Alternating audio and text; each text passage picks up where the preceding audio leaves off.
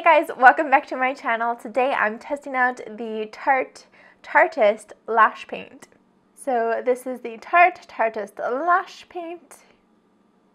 See, it's made in Italy. This is a sample of the mascara I got in an Ipsy Glam bag, but you can purchase a full 0.23 ounce bottle of it for 23 Canadian dollars, and it is available in one shade, black. The bottle of the sample is a little bit weird. I feel like it's almost broken. The tip is just this like really dense silicone tip. As you can see, I have the rest of my makeup on, so I'm just to throw on my mascara and we'll test this out for 12 hours and see how well it does. It's got no scent.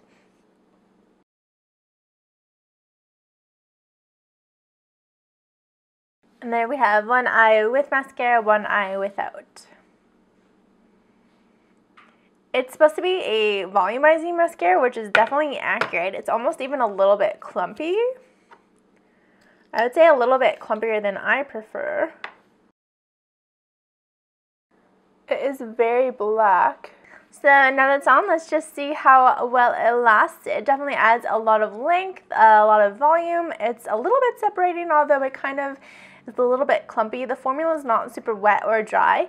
And I do like the way the brush kind of grabs onto your lashes. You can really feel it on your bottom lashes. It kind of like tugs and like pulls and separates.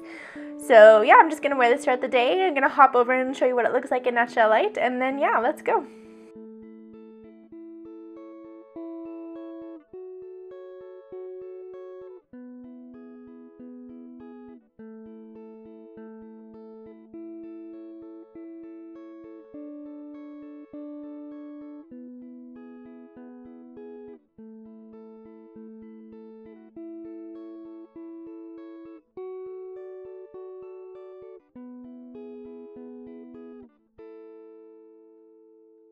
It's now the end of the night, and I have to say, things are looking pretty good.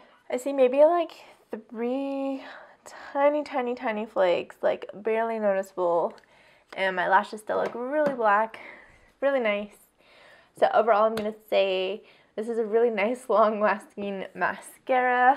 I would rank, rank it about equal to, say, the Art Deco mascara, although that one was a little bit cheaper. This one's maybe a little bit more volumizing and lasted a little bit better. Overall, I really like this mascara and I think it did a really good job, lasted well.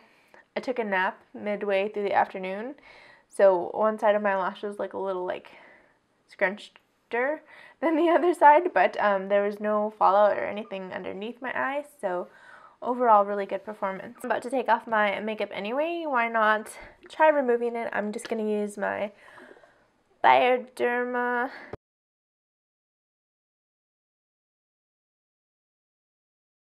and it comes off really easy no issues there so overall I really did enjoy this Tarteist Lash Paint mascara I actually have a couple other Tarte mascaras that I'm going to try out but yeah, this one totally gets a pass for me. I'm going to give it a 3.5 out of 5. Anyway guys, thank you so much for watching. If you enjoyed today's video, Make sure you share it with a friend, give it a thumbs up, and subscribe down below if you want to see more content from me.